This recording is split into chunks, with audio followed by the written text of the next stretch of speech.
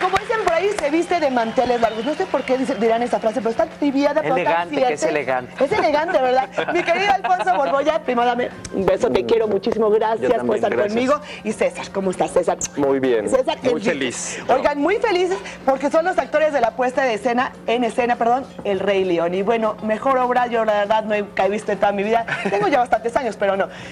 Timón y Banzai. Banzai, la llena. La llena. La llena, que es la, La- llena. la llenañera. La ñera. Esa Pero es la más divertida, es la que te hace reír, ¿no? La que, la que nos refleja realmente en el país que estamos, ¿no? Es lo que yo creo que la visa característica importante. Exacto. Y mi querido, bueno, bueno, o sea, Timón. O sea, Timón es el personaje que uno dice en la obra. Ese, ese yo quiero ser un ese yo quiero ser. Qué maravilla, qué Eso yo decía cuando vi la película. ¿Tú la viste de chiquito? Claro, ¿Ustedes la vieron de chiquito? Sí, Claro. Por supuesto, todos la vimos, ¿no? Fíjate que fue muy chistoso porque yo también quería audicionar por, por Timón. ¿De verdad? Pero, sí, claro, porque yo también hago comedia. Ajá. Pero mi perfil, el público me, me podrá ver claramente. No, no, no. Entonces, como que yo daba más acá a la banda. Entonces, Claro. este, dije, ¿para qué voy a Timón si me pueden batear? Mejor voy por voy a la segura. Y Ajá. entonces, pues me fui por el ñero, por acá, por el Oigan. ese y mira. Cuéntenme cómo estuvo el casting. Bueno, vamos a empezar a hacer una crema de chayote al Sí, mismo sí, sí, tiempo, porque porque como, si, eso, como sí. si íbamos en la cocina, vamos a poner mantequillita y aceite. Ponemos ¿Cuánta aceite. Poquita, una más poquitina. Y ponemos unas gotas de aceite para que no se te queme la mantequilla. Y le puedes me hacer tú, mi querido, por favor, Alfonso, de una vez. Vas a freír, fíjate muy bien. Ese truco no me lo sabía. Ah, ponerle ¿verdad? aceite para que no se queme la mantequilla. Entonces no se va a quemar nunca. Aceite de olivo. Lo que quieras, aceite del que tengas Del en que casa. tenga, del que- ok. Cebollín. Cebollín, pero son rabitos de cebolla, Órale. ajo. ¿Por qué conocemos como cebollín a las dos cosas en este país? No, esta Al cebollita de cebollín, cambray. cebollín o, a la ce- o al rabito de la cebollita de cambray también le dicen cebollín. Yo uso mucho el rabito de cebolla porque es como que un sabor mucho más tenue y tenemos la presencia de la cebolla. Te voy a agregar el ajo corazón y te voy a agregar el chayote. ¿Que ya está que ya cocido está- o está no, crudo? no, no, lo vas a cocer tú, Ah, corazón, tú lo vas a cocer. Nomás vas a pedir ratito, mientras que me platican un poco de esta, bueno, vamos a platicar de la puesta en escena, pero primero quiero que me platiquen cómo fue el casting, porque yo me muero de curiosidad. O sea, un día les tocó, o sea, ¿qué, hicieron? ¿Tocaron la puerta del teatro? ¿Cómo, est- cómo estuvo? A ver, cuéntenme. A mí, bueno, yo creo que todos tenemos historias distintas, pero a mí en particular sí me habló la directora de casting de Ocesa, que estaba, estaba pues, es la que, se hace- la que se dedica a hacer las audiciones de todas las obras de Ocesa. Y mm, me dijo, hay algunos personajes de la obra para los que no quieren actores de musical. Entonces pensó en mí y en toda la gente que hacemos improvisación. Yo hago impro, hice la impro lucha muchos años, hago impro desde hace mucho. Entonces me dijo, te quiero audicionar a ti y quiero que me pases el dato de todos los de la impro para que también los llame yo a casting. Ok, muy bien. Y entonces... Bátele, bátele, bátele, mijo. Que no se le vaya. se pone nervioso César de que mueve, le mueve, le mueve. El chayote, oye, el ajo, no se me vaya. chorcha en la cocina. Y entonces eh, empezaron las audiciones. Fueron, yo hice seis etapas de audición. Seis. No sé cuántas, pero más o ¿Cuántas menos todos. Yo hice como 10. por ahí. Guau. Sí.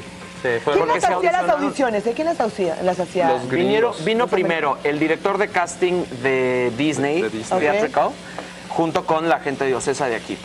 Como para las primeras dos o tres etapas de audiciones. Y después ya estaba también todos los directores eh, gringos, que Sí. son los que se echaron toda la dirección, que La era el director de sí. escena. La coreógrafa, este. O sea, porque aparte de que ustedes son buenos actores, tienen que tener esta improvisación de estar bailando, cantando, moviéndose, porque tú, por ejemplo, tienes como un, un como moped, se Un dice. puppet. Un puppet, un puppet, que lo tienes que coordinar y bueno, este, lo tienes que mover y si tú te mueves conforme él se mueve, o sea, es todo un arte, corazón. Y por ejemplo, las, las llenas tienen otro tipo de puppet. Se, mm, ah, bueno, Ahí pues estamos viendo ahí las están viendo.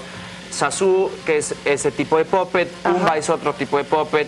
Timón es otro tipo de puppet, las hienas son otro tipo de puppet, o sea, em, sí, los, los leones traen máscaras, entonces pues también hay que tener ahí como un, una preparación corporal es lo que te decía yo, es importante. Entonces, después de seis audiciones te dijeron que te quedabas.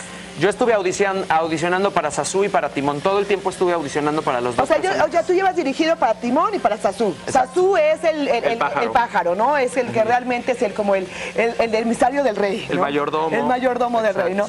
Y tú, César, cuéntame. Y yo, yo mi proceso fue bien distinto. Yo mi proceso fue mucho más. eh, yo también soy actor de teatro, soy egresado de una escuela teatral pesada de estas así de teatro intenso y de pronto también un día eh, canto también y un día me dijeron, oye, ¿por qué no haces musicales? Ta, ta, ta. Yo alguna vez dije, si que hago alguno sería Rey León porque me gustaba mucho.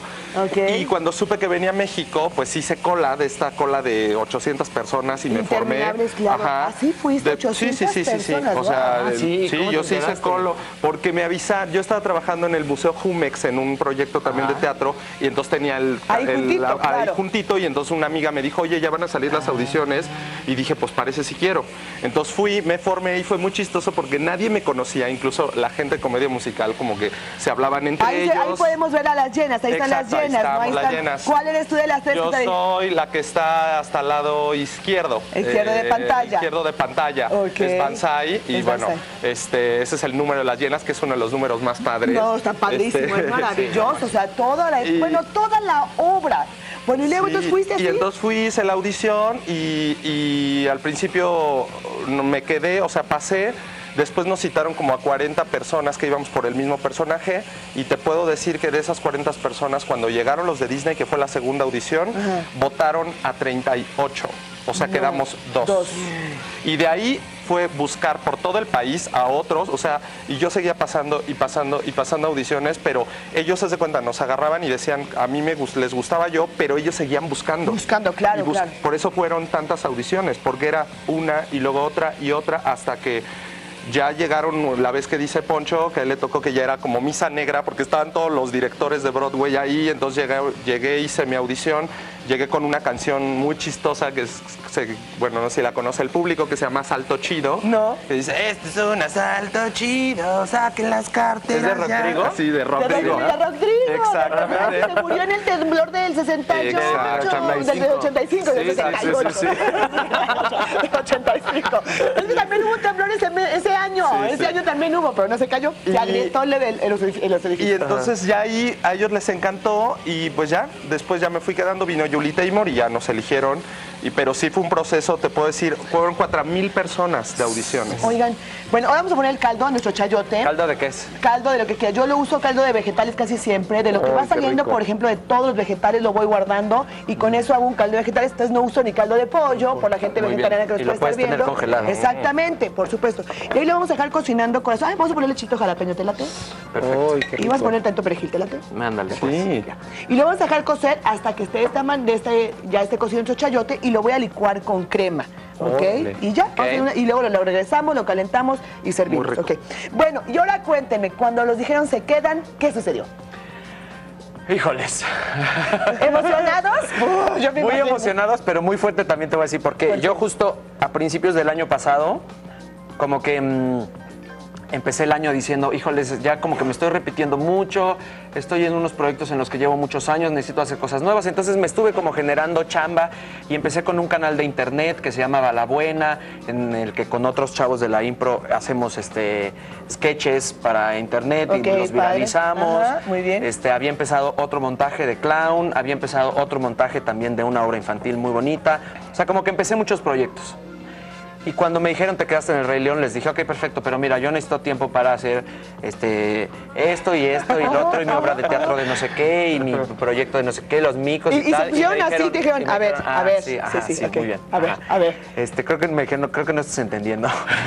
o sea, yo esto es lo mismo. 24-7, o sea, no vas a poder hacer nada más vas a terminar el domingo arrastrándote a tu cama, es lo único que vas a querer hacer, descansar. Claro, y no es porque no te dejen, es porque de verdad no puedes. No, no puedes. Los domingos terminamos hechos sopa, o sea, es así sí, de... Sí, sí, sí, sí, sí, Es una demanda Son dos funciones los domingos, ¿no? Y los sábados, también. Y los sábados también. Empezamos teniendo ocho funciones a la semana, ahorita tenemos siete. Pero es una obra de dos horas 45. Sí, es lo que la gente no sabe. Casi son tres horas, o sea, y no paran. O sea, o sea todo es ti, llevas, o sea, desde. El títere y no sé qué, y cárgalo, y súbele, y bailale. O sea, sí, sí O sea, entonces dejaste todo lo que habías empezado a hacer el año nuevo. Digo, y eso fue, lo, eso fue lo fuerte, ¿no? O sea, como que sí es un cambio de vida porque tienes que dejar todo. todo, todo. O sea, te olvidas de tus proyectos, de tus no sé qué, de tus... para dedicarte a esto 100%. Pero perdón que yo lo diga y no sé mucho de teatro, soy un especial, pero creo que estás una de las mejores obras de, todos los tiempos sí, de Broadway. claro, por eso dejas. Entonces, estamos en la mejor y bueno, sí hay que dejarle una temporada porque estás muy joven y van a llegar nuevos proyectos cuando esperemos... gracias. No, vaya, o sea, cuando se Oye, ¿cuántos años lleva en cartelera el Rey León en Broadway? Lleva creo que 10, ¿no? 17, 17, o sea, entonces imagínate, ya tenemos dentro de 17 años todavía de timón corazón. Te la. no sé si tanto, pero, pero creo que sí para todos eh, los que estamos ahí sí va a ser como un antes y un después del Rey León. Yo estoy casi seguro. La obra de teatro por excelencia de Broadway y segura, y aquí también está siendo histórico, está rompiendo récords de cuántos boletos lleva vendidos, este, de funciones por semana, de, o sea, sí. Oye, ahora dime tú, César, un poco. Cuando viste a Rey León de chiquito, ¿alguna vez te pudiste haber imaginado en tus sueños estar en esa obra? No. Porque, bueno, aparte nada más era, nada más la, película, pero empezamos a saber que estaba en Broadway, ¿no? Y tú eres un chico joven y sabías que estaba en Broadway. ¿Te, imaginaste? Sí, yo fíjate que cuando empecé a hacer teatro antes de estudiar, estudié teatro, hice teatro musical, pero de este amateur, ¿no? Así, de estos, como lo hace mucha gente. Sí, y entonces eh, yo tenía el soundtrack del Rey León y yo me acuerdo mucho que cuando yo lo yo escuché la música, me enamoré. Ajá, o sea, la música, me enamoré de ese musical. Punto. Y después estudié mi carrera, ta, ta, ta, y después supe que es algo también por lo que Poncho y yo creo que estamos aquí, porque efectivamente desde las audiciones buscaban actores que cantaran, no cantantes que actúen, que es distinto. Entonces, las audiciones eran muy claras, el director era actúa, actúa, quiero esto, quiero esto, y decías, me está dirigiendo como en teatro, teatro. Teatro, claro. ¿No? O sea, entonces eso, cuando yo supe que Rey León buscaba eso, sí alguna vez pensé y dije, ay, sí me gustaría estar en ese musical. No, claro, y, por supuesto. Y obviamente cuando fui, eh, pues ya iba con toda la... Incluso yo estaba de gira con una obra también, yo, yo hago cabaret, hago teatro cabaret, entonces andaba yo de gira por el país. Yo dos veces tuve que pagar avión de Nuevo Laredo o de... ¿De dónde andabas? A venir a audicionar y yo, había gente que me decía, pero ¿por qué estás pagando 4 mil, 5 mil pesos de avión? Y decía, es una inversión. sí, claro, es una inversión. De verdad, me voy a quedar. Y había algo que sí tenía ganas de estar ahí. Por eso cuando nos dijeron, al principio fue como choqueante y fue así como, ok, ya después salí. De verdad, no, me pasó nada. No, choqueante. Yo cuando, cuando me dijeron, tienes que dejar todo, yo me fui a mi casa a hacer bolita a la cama, a decir, o sea, llorar de decir, tengo que dejarlo todo, esto es un cambio de vida radical. O sea, sí, sí, sí, sí, sí. Sí, o sea, porque mucha gente dice, ¿y qué hiciste? ¿Qué brincaste? Y yo, de verdad, yo estaba en shock. Yo era así como de, ok, ajá. Y era esto. Oye, ¿cómo, cómo se los dijeron así rápido? Que me queda un minuto con ustedes y quisiera que me hablaras como Timón, por favor. Tienes que hablar como Timón, por favor. O sea, nada más unas cuantas palabras. Déjame ver qué te Ándale, actuar, actuar, ándale, ándale. Nervioso. Este, bueno, pues yo me hice, me hice bolita, así me puse todo hecho bolita así en la cama cuando me dijeron que me tenía que quedar en el Rey León. Y me dijeron, oye, ¿no se te antoja ser timón? ¿No se te antoja ser timón? Le dije, pues sí, sí, sí, sí se me antoja ser timón, sí se me antoja. ¡Ay, mi vida! Y bueno, tú, a ver a ti, rápidamente, háblame por favor, César, como... No, pues yo no sé qué quieres que te diga, pero pues yo te puedo aquí, aquí con el timón, ahorita me lo desayuno, me lo como en la crema de chayote, nos lo desayunamos bien chido y pues ya, no hay bronca, yo te invito. ¿Cómo no? Con mucho gusto. Porque se quieren comer a todos, o sea, esa escena pues donde están ustedes y se encuentran con, con Nala, ¿no? ¿Sí es Nala? Ah, sí, sí, sí. Cuando se enteró que, que, que, no sé que es un león. es buenísima, es una maravilla de obra, de verdad, súper, súper recomendable. Yo les este, 20 años que pude verla también en Broadway, la he visto tres veces en Broadway y la de México no le pide absolutamente nada es más, yo creo que, tiene cosas mucho mejores que Broadway. Perdón que lo diga, no sé, de teatro mucho, pero yo, mi punto de vista de gente normal. te diré una cosita rápido. De verdad, Julie Taymor, la gente de Disney dijeron eso y de verdad lo decimos con mucho orgullo.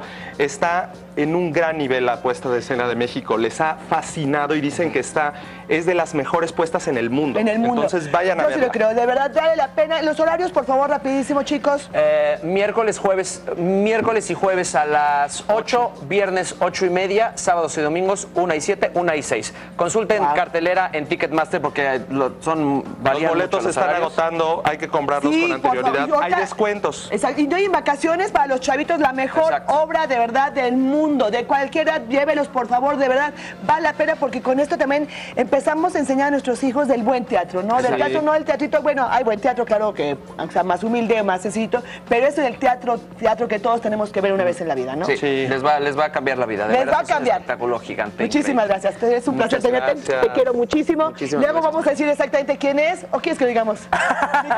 Ya he estado, ya he estado en este foro. Ha estado en este foro muchas veces. Y los domingos en la noche. Y los domingos en la noche, y es un guapo, y es un serio. No se, no se pueden creer quién es. Es muy, pero muy inteligente.